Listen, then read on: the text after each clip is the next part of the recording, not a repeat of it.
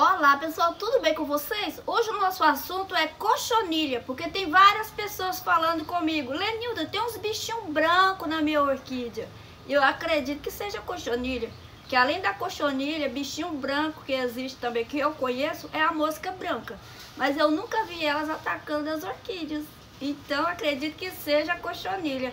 Como eliminar as cochonilhas E vou dar dica para você também para como evitar as cochonilhas de uma forma bem natural e simples, ok? Então vamos lá conhecer as cochonilhas. Caso você não tenha tempo de fazer esse procedimento natural, vou orientar você para comprar um produto próprio, ok? Olha aí, as flores parecem perfeitas, né? Quando você puxa o labelo, lá dentro está escondido. Olha. Tem pessoa que não conhece as cochonilhas. Parece até varejeira. Ovinho de mosca. Tão branquinho. Isso, pessoal, é um descuido que a gente dá. As cochonilhas, ela vem do mato. Ou ela vem de planta que você conseguiu comprar ou ganhou. E que está contaminada com elas. Às vezes a gente nem vê que muitas vezes está no substrato, está dentro das banhinhas, mas usando esse produto, eles vão para as flores. Não vi nenhum nas banhinhas, estava aí, ó, no pallet, lá em cima, né? Eu só percebi que já estava com cochonilha porque eu vi umas formiguinhas e quando eu abri o labelo dessa orquídea tinha tinha essas daí, ó. Olha aí a lãzinha, eu puxei com o palitinho Aí tirei. Olha andando.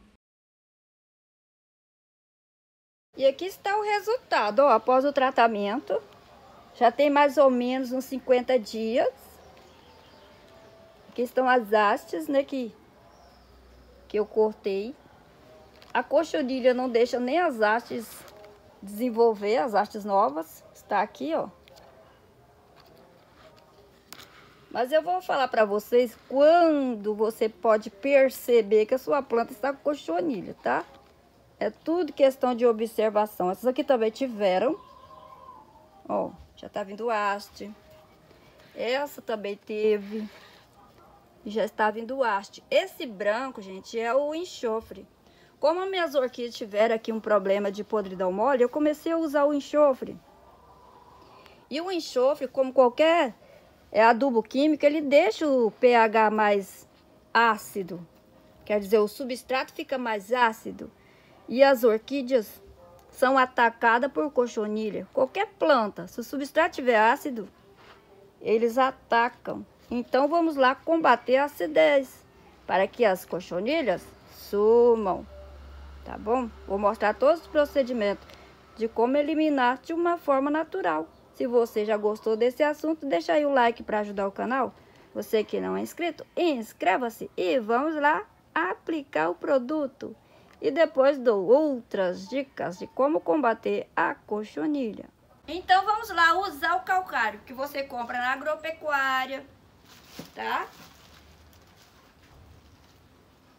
Em lojas que vendem material para agricultura.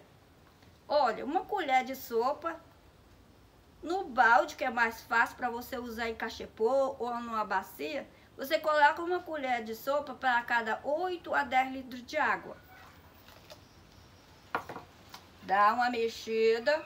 É o calcário que usa na agricultura. De vez em quando alguém pergunta, tá? Agita bem. Se você for usar em plantas que estão no vaso, você pode até borrifar.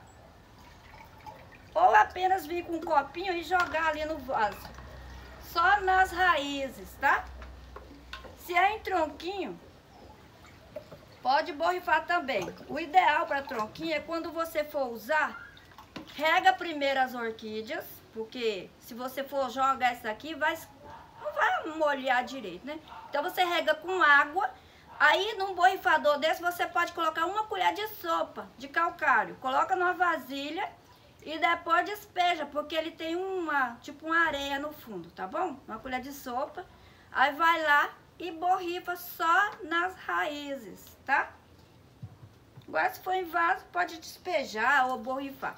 Já em cachepô, Se tiver muito atacado por cochonilha, você não molha. Até no vaso, tá? Se tiver muito atacado. Você só agita. A planta está seca. Você coloca aqui no balde e deixa aqui a rega por imersão. Deixa aqui uns 30 minutos, até o substrato absorver bastante essa água. Eu fiz duas vezes já nessa planta. Gente, o cake era novinho e tinha muita cochonilha. Ainda tem? Tem. Tem um aqui, ó. Mas vai controlando aos poucos. Você tira a cochonilha, mata e continua usando até de 15 em 15 dias umas três ou quatro aplicações. Já essas daqui que eu comecei a fazer antes, não tem mais cochonilha. Deixa as plantas separadas, tá bom? Usa nas outras orquídeas também, tá? Porque além de adubar, vai ajudar a controlar as cochonilhas. Se eu não usasse calcário, as, as bichinhas tinham tomado conta, gente.